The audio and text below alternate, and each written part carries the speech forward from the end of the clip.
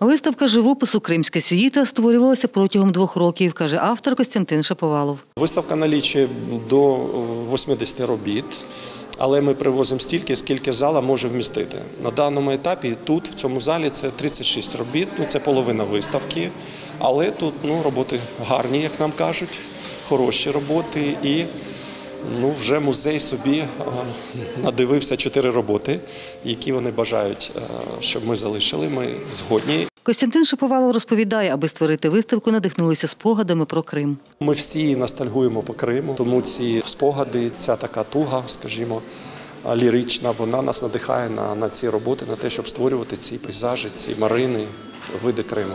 Хоча виставка Костянтина і Світлани спільна, картини писали окремо один від одного, каже Світлана Шаповалова. Додає, у Костянтина робіт більше. Ми працюємо індивідуально над е, картинами.